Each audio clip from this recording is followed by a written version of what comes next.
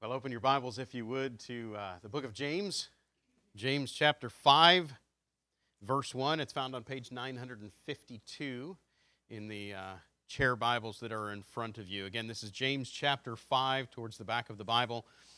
Um, we're continuing to work through our study called Proven uh, Through Faith, or Proven Faith, I should say, where James is calling on professing Christians to offer up the proof for the evidence that their faith is genuine and real.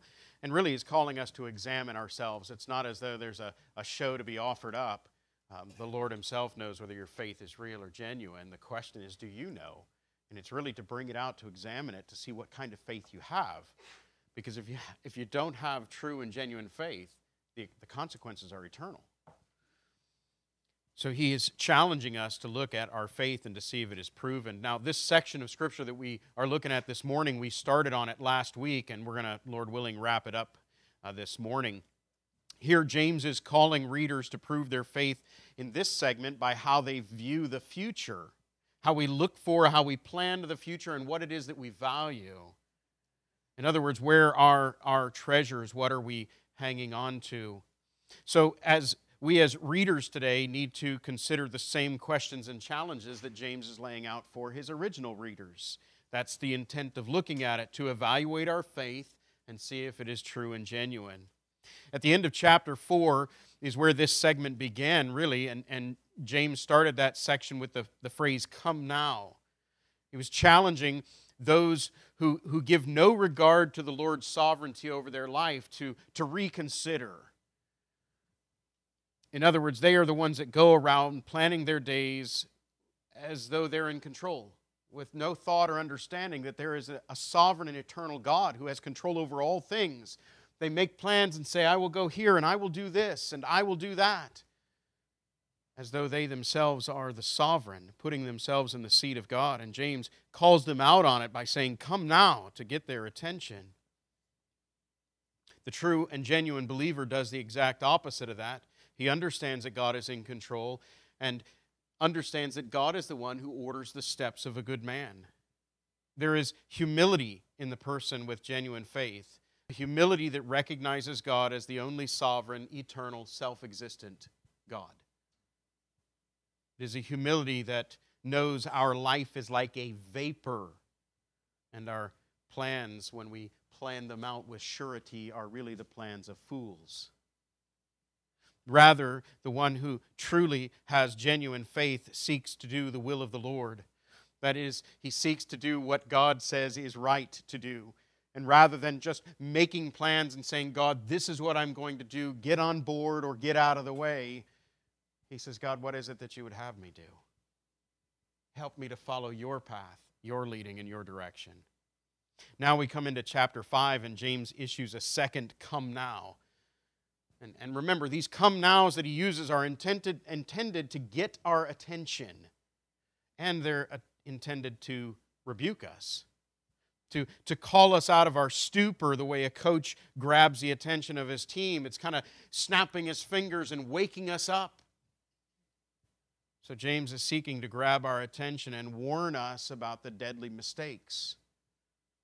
It's almost like he's saying, hey, stop fooling around. This is serious stuff I'm talking about. It's dangerous stuff I'm talking about. See, what James is telling us is, is dangerous because if your faith is not true and genuine, then you will not enter the kingdom of God on the last day. So it's dangerous if we don't pay attention. Because faith that is focused on the temporal is a deadly faith, faith that will lead to the weeping and howling and misery. It's also a serious issue because we have been instructed by Jesus as to how to treat wealth and how to treat one another. Jesus has given us instructions in the scripture as to how we're ha- to handle temporal possessions. It's a serious matter. But sometimes we become so sh- short sighted that we can't see beyond today. We, we forget to look towards eternity and we can only, we get so focused on, on the earth and the things of the earth. Sometimes we become so self centered that we lose focus on what really matters.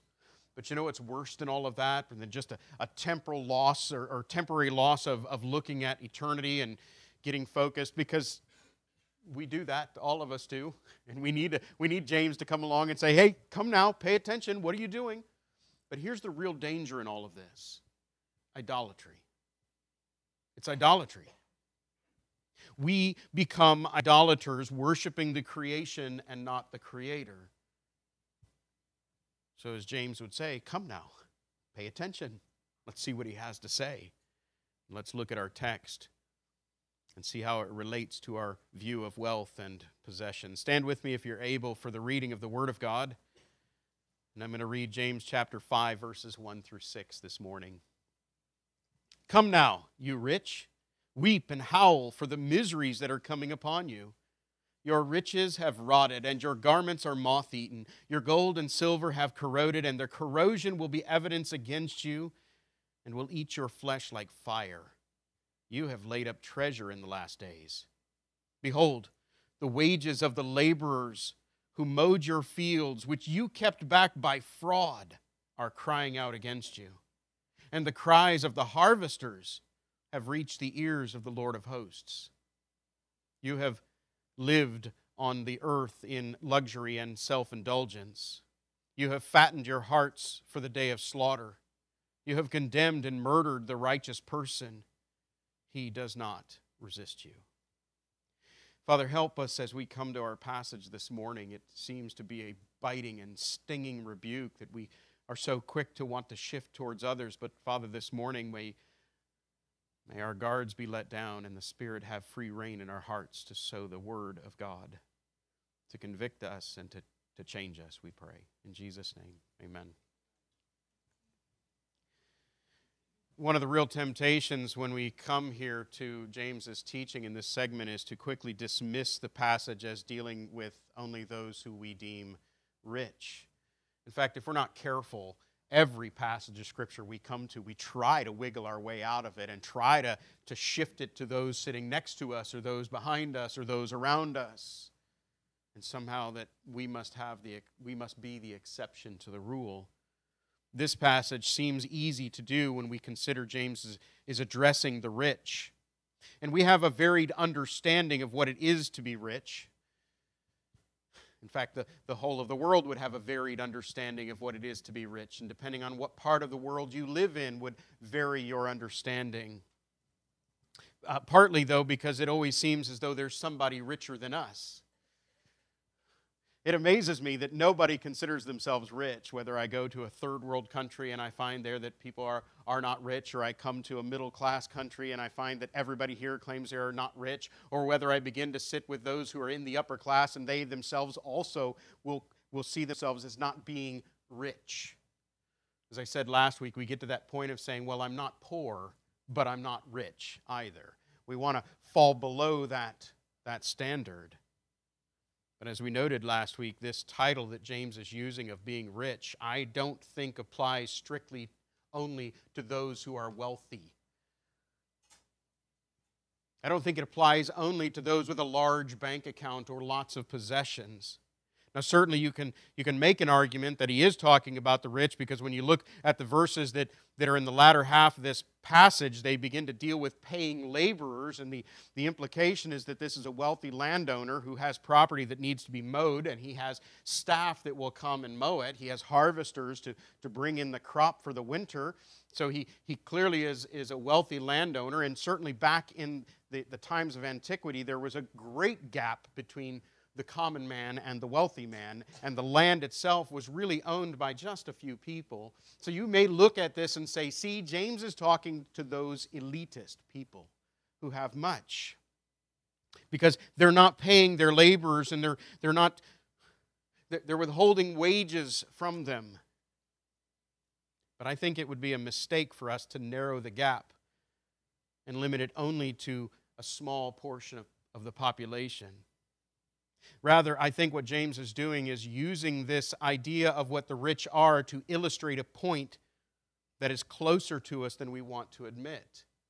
It's a point that becomes very uncomfortable. And remember, this letter of James is a very uncomfortable letter when you decide to sit down and meditate on it. because it's convicting, it strikes us at the heart. If you recall, when we were working through chapter 2, we notice the contrast between the poor and the rich that, that James lists out. He notes that those he, he notes those as poor in the world and says that they are also rich in faith. And from that we can understand that the opposite is also true that those who are rich in the world are poor in faith. The key points in those phrases are in the world and in faith. See, these are the qualifiers that explain what it is to be rich and what it is to be poor.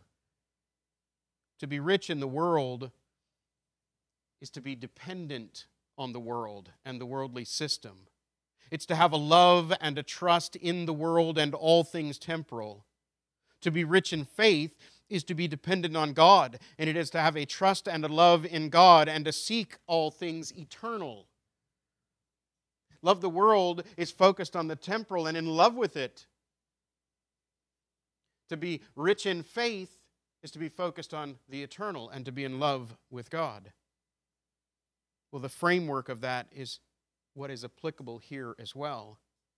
The rich that are on display are an illustration, a magnification of what it is to be rich in the world.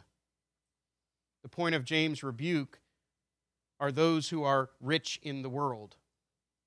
So it takes us away from the amount of money in your bank account and it points us really to the heart of the issue, and that is a, a heart that is in love with a bank account, whether it's the one you have or the one you want. This passage sings in harmony with the words of the apostle Paul from 1 Timothy chapter 6 verses 9 through 10. He says those who desire to be rich fall into temptation, into a snare, into many senseless and harmful desires that plunge people into ruin and destruction. For the love of money is the root of all kinds of evil. It is through this craving that some have wandered away from the faith and pierced themselves with many pangs. Paul's words are true and they fall right in line with James. Paul is charging against the love of money. Now, this passage that Paul gives us is often misquoted, and people will say, Money is the root of all, all evil. Money is an amoral agent meaning it's neither good nor is it evil. It just exists. It's a substance, it's a commodity, but it doesn't have any morality about it. Money is not the root of all evil. The love of money is the problem. Being wealthy is not a problem. Loving that wealth is the problem. Being poor is not a problem. But loving wealth is still a problem. And the love of money does not just lead to evil, it leads to all kinds of evil.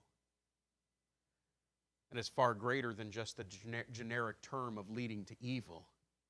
It leads to all varieties and all manner of evil. In other words, there is no pathway of evil that is off limits or out of reach to someone who is in love with money. It should also be noted that the love of money does not only extend to those who have money. The old Bishop J.C. Ryle noted it is possible to love money without having it, and it is possible to have it without loving it. It is possible to love money without having it, and it is possible to have it without loving it. Money is all moral. The problem is are those who have a love affair with money whether they possess it or not. Some spend their life collecting it and hoarding it and hanging on to it. Some spend their life chasing after it. Either way, they'll follow any evil path that it takes them down. This now begins to make our passage all the more uncomfortable because it removes the notion that James is simply rebuking an elitist group. But rather, what he is doing is he is rebuking those who are rich in the world, those who have a love affair with the world and the things thereof. See, the problem, again, that James is dealing with is a problem of idolatry. This is the real issue at hand loving money more than you love God. That's idolatry.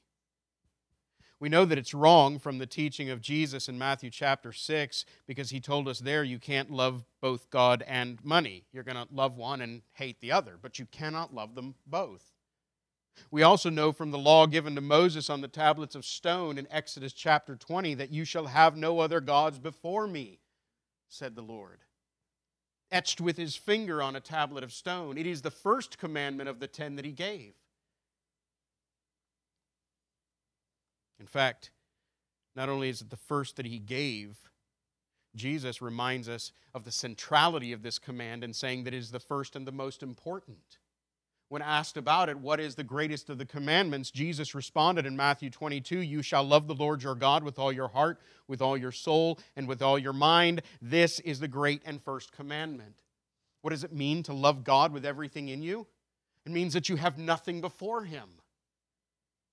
He is the object of your full affection.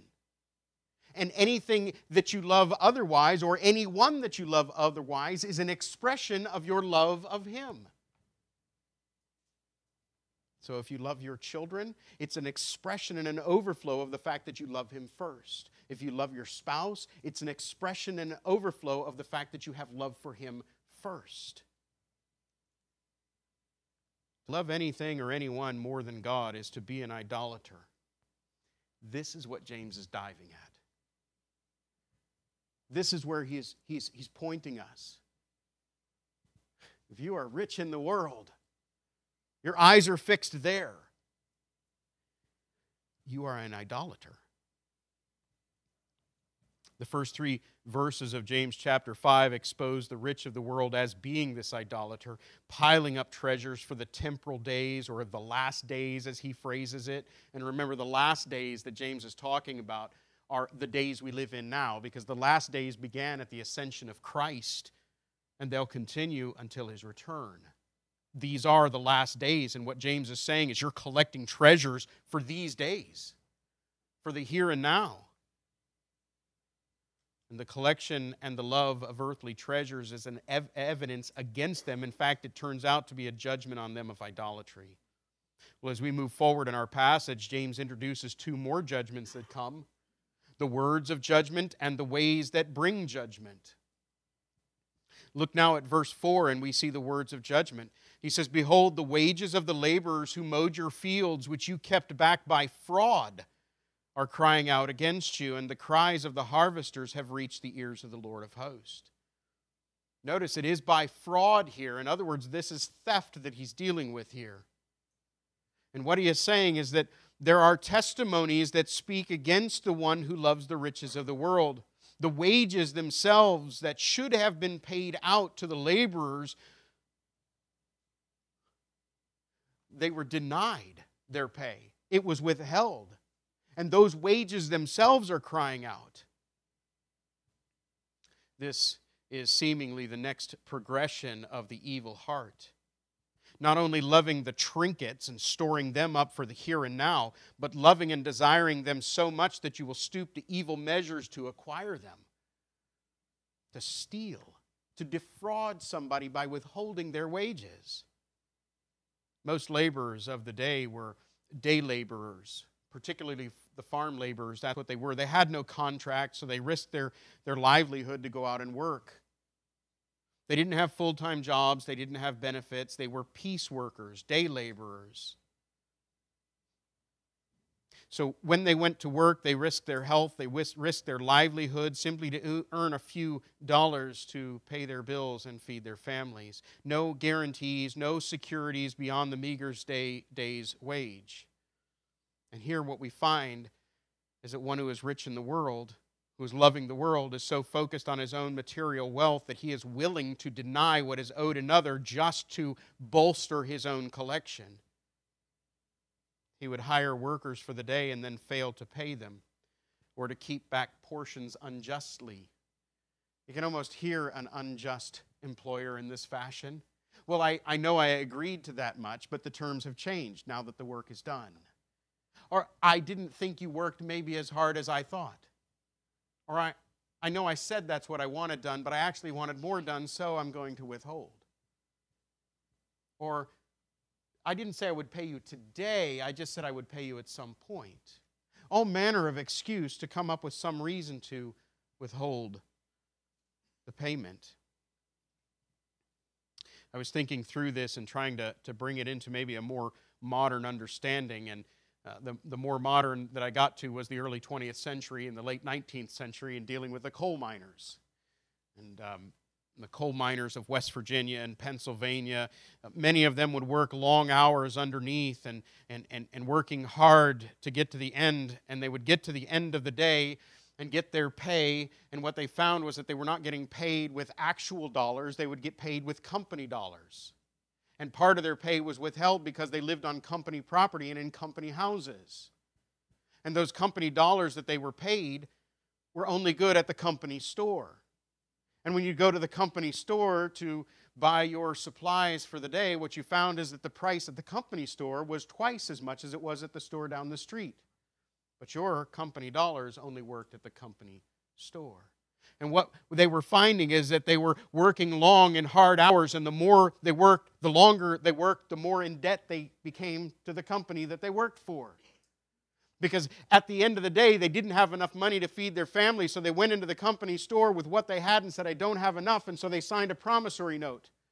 You can hold back more of my wages. It was a scheme by the coal mining owners to indenture their workers, really to keep back what was owed. This is not consistent with one who is in Christ, with one who has genuine life changing faith. This is not consistent with one who is laying their treasures up in heaven and serving Jesus as master.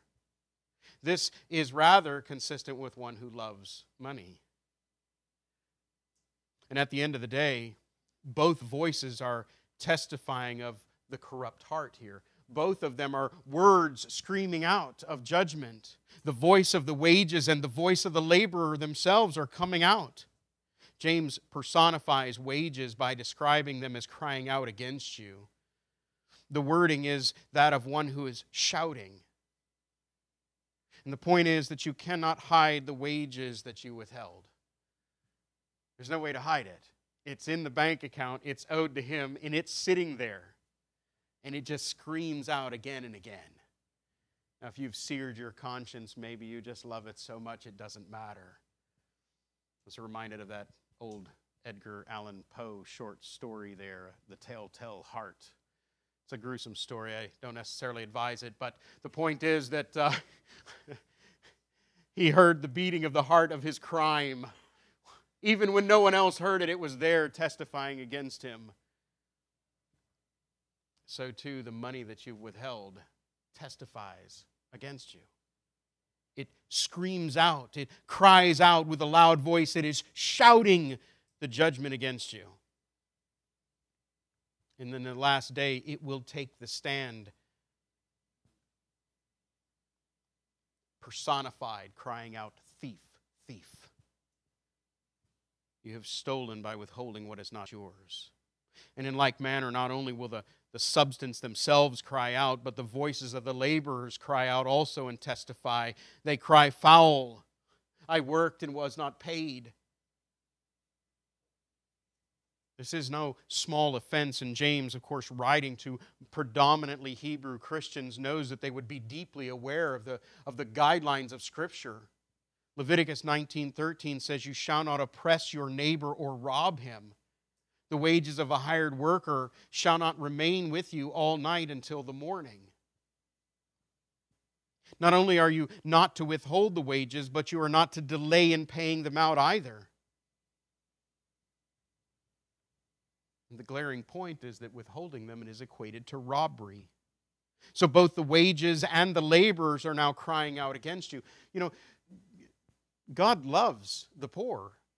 And in fact, in his whole system that he set up with, with, his, with his people, with the Jewish people throughout the Old Testament, was to care for them. Even in their farming, they were to leave some behind for the poor people to come and to glean so that they would have. They're instructed to be generous and kind, not to deal ruthlessly with one another. Here, the wages are crying out, the laborers are crying out against you. This is indeed sin, and the Lord will hear of it.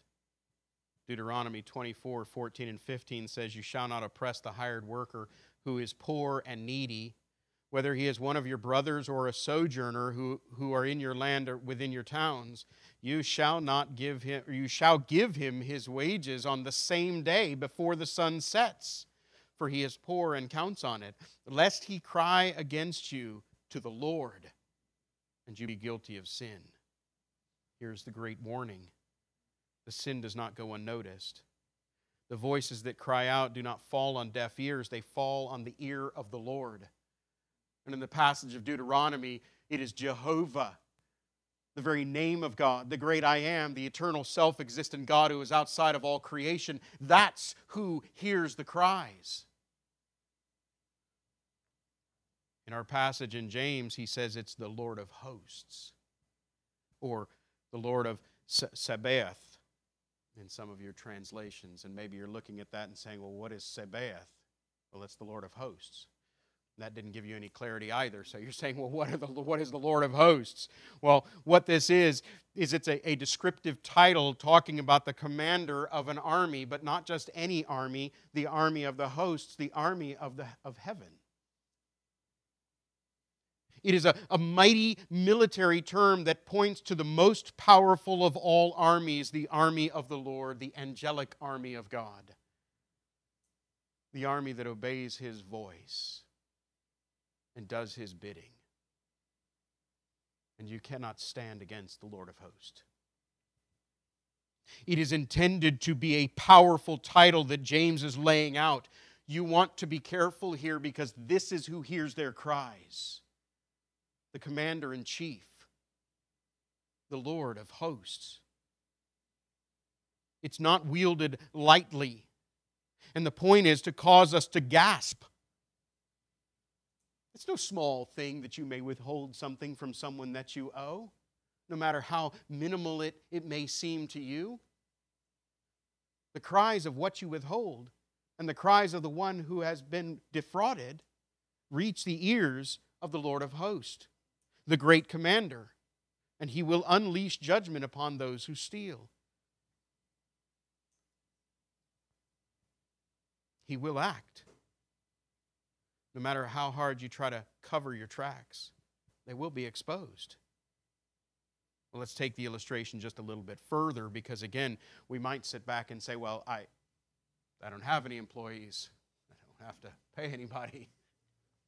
Well, let's take it a little bit deeper here because we can't get away from this, make it a little more uncomfortable. This is also applicable to how we uh, treat an unjust return. Because it's really about the heart here and how we view things.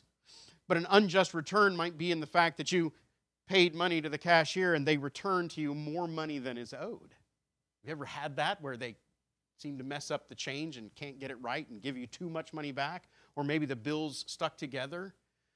Doesn't seem to be quite as common today as it once was, but I have seen it where they handed back more money than you paid them. And you can walk out the door not only with the product for free now, but also with more cash than you came in. And as a child, I remember being with a, with a family member who, who saw that and quickly stuck it in the pocket and was boasting as we went out what a great deal this was. And I thought, oh, that's really cool. That must be how you do it. No. May that money burn a hole in your wallet and scorch your leg in the process. What about a bank error that credits you too much money? That seems to be becoming more popular or happening more often. At least it does in my life. We keep putting checks in the bank electronically with a picture, and somehow the camera and the process gets it all wrong, and then we got to call them up and say, hey, you put too much money in because if they put too much money in my account, it means they took too much money out of somebody else's account, and they got to get it right. Maybe a little more personal. How about the stroke of a pen when you're filling out your taxes? Just move the, move the decimal point or skip adding this amount in or that amount. You know, you can do a little tweaking on it, and all of a sudden your return may go from a small one to a large one. Or maybe you're not in the process of getting returns, so you can go from owing a large number to owing a small number. Just change the answer.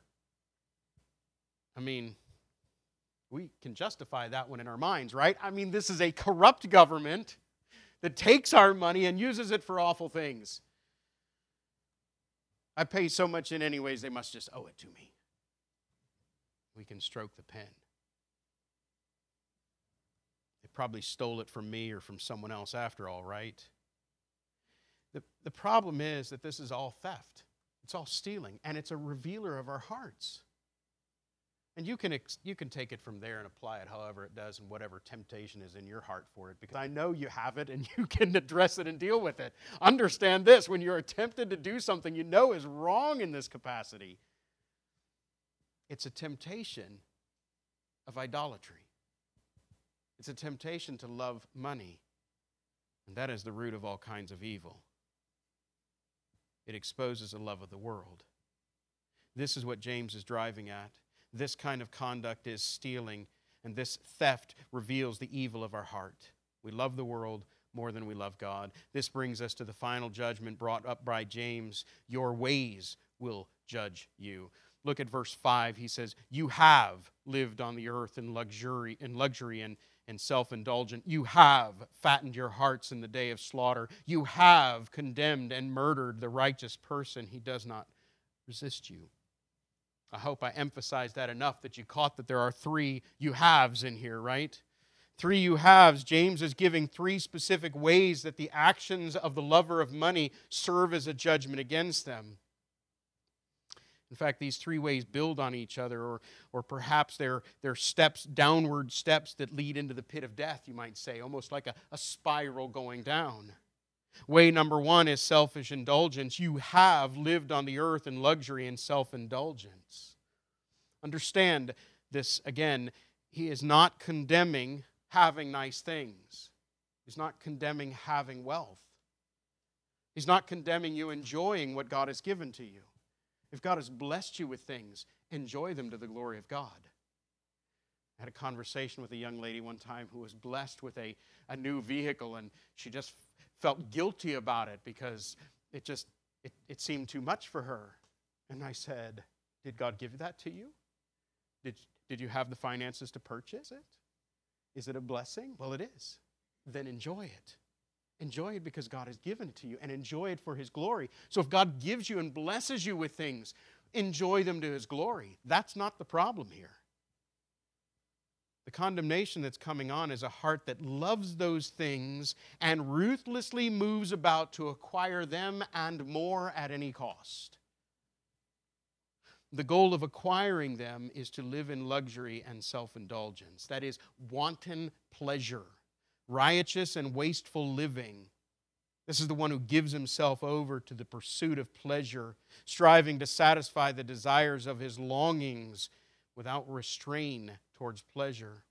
It leads to vice and it leads to evil endeavor. It's the wasteful living of the prodigal son. Remember the parable of our Lord? He spoke of the son who demanded his inheritance and then ran off into a distant land and wasted it on evil pleasures. This is what James is talking about this kind of extravagant living that seeks only to satisfy the flesh and has no concern for those who are in need. It is the wealthy living luxuriously while the poor are starving. It is almost like pouring salt on the wound. There are those who are struggling to make ends meet. And instead of helping, you flaunt it in front of them. Lest you think this is something that falls only outside of the church, we should probably consider the church at Corinth. Paul warned them that they were abusing the Lord's table because they were coming hungry while others were bringing meals and eating to excess. And it created this whole mess that was going on because instead of coming together in unity and sharing the bounty of the Lord with one another, some were coming and being gluttons in front of those who were starving. Paul warned in 1 Corinthians 11, he says, When you come together, it is not the Lord's supper that you eat, for in eating, each one goes ahead with his own meal. One goes hungry, another gets drunk. What? Do you not have houses to eat and drink in? Or do you despise the church of God and humiliate those who have nothing? What shall I say to you? Shall I com- commend you in this? No, I will not. Now, Paul isn't saying we shouldn't have church gatherings. Okay, yes, we definitely should have church gatherings and fellowship. His point is if you're just going to come there and, and eat a bountiful feast and in and, and gluttonous style while others are sitting around starving with nothing, don't do this. It's evil. Rather, what you should do is come together and share and commune and fellowship and give and be generous. There is no room for self indulgence in the church of God. Well, this leads to the second way that brings judgment, and that's gluttony. It, as I said, they build on each other or they move a step further down the spiral. He says, You have fattened your hearts as in the day of slaughter. This is the, the natural effect of self indulgence, a fattened heart. It's like fattening the calf for the slaughter. The beef farmer understands it as the, the bovine is getting closer to the point of, of, of sending him off, he spends the last few weeks and days fattening him up. He brings him into the final pasture to finish him off, feeding him with the high grains, the high fat food, so that when he is slaughtered, the beef is tasty and satisfying, and it will bring the greatest of prices. So, in the final days, the creature is given the best of the foods, and nothing is withheld. It seems to the animal that life is great. He has no idea his end is near. The illustration is a graphic picture of what is to come for the selfish heart that loves the world. Because while you glutton on the pleasures of the earth and the, the things of heaven begin to grow strangely dim, you are eating and drinking judgment upon yourself. You're tasting the bounty of the Lord, but you do not acknowledge him. Rather, you bow to the idol of pleasure, and your heart grows fat. And in the last day, this will be judgment against you, and it will be the day of death. That's why it's, that's why it's graphically described as the day of slaughter. As striking as these two judgments are, the third is the most condemning. Way number three is murder. He says in verse 6 You have condemned and murdered the righteous person. He does not resist you. This is the striking blow, the final step in the downward spiral of eternal death. In the day of James' writing, many of the day laborers depended on the wages of the day to pay for food and housing. If they were not paid for that day, then they did not eat that day. Some of the corrupt business owners were not only withholding the wages, but they were taking the poor to court and oppressing them, forcing them into servitude or slavery, much like we described of the coal miner situation. They would use the, the legal system, so they would withhold their pay, pay so that they could not pay for their housing or other debts. And then, because they, they couldn't pay for their other debts, then they were brought into court because they didn't pay their debts. With the scheme in hand. They had corrupt judges as well, and the laborers were no longer hired hands, but they would become slaves.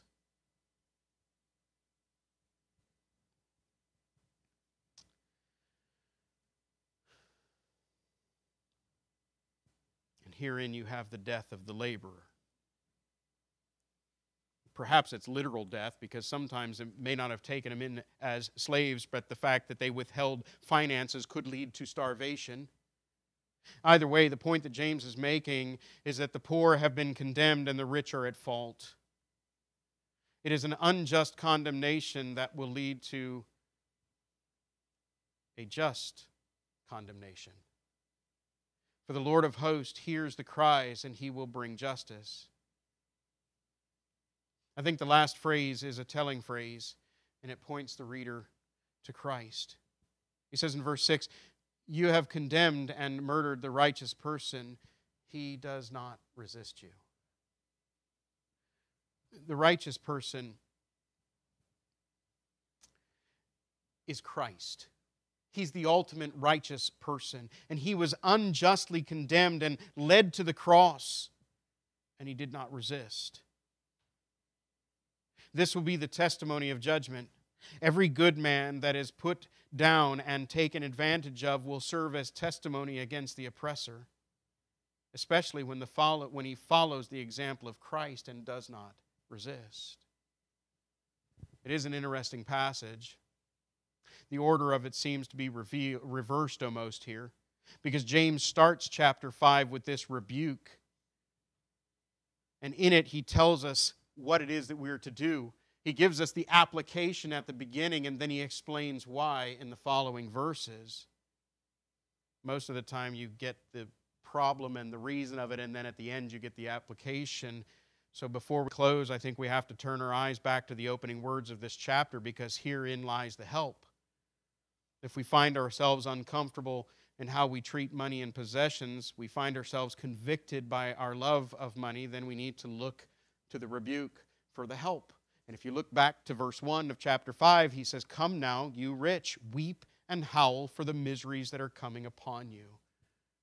When we started this, I said, Here's the warning it's a call to repent, a call to confess, a call to grieve the sin of idolatry, to see the judgment that you deserve, and to turn to Jesus. For some, it's, the, it's going to be the first time that you turn to Jesus. the Spirit of God is going to convict you. He's going to blow like a wind, as, as the Gospel of John tells us, as Jesus says.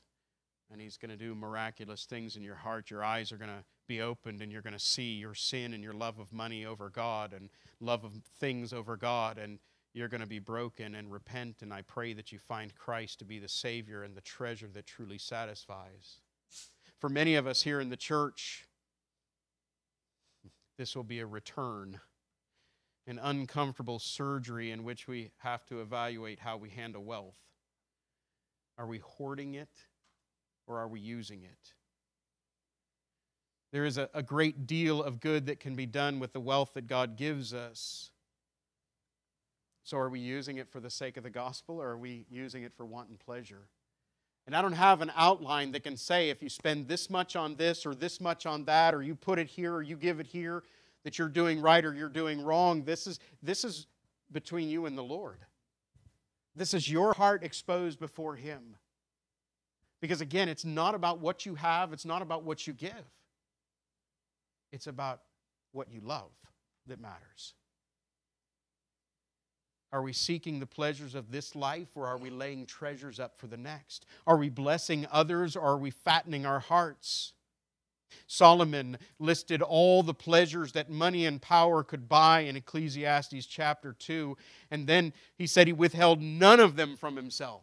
He pursued every pleasure that was out there. And after he said that, in verse 11 of chapter 2, he said, Then I considered all that my hands had done and the toil that I had extended in doing it, and behold, all was vanity and a striving after wind, and there was nothing to be gained under the sun.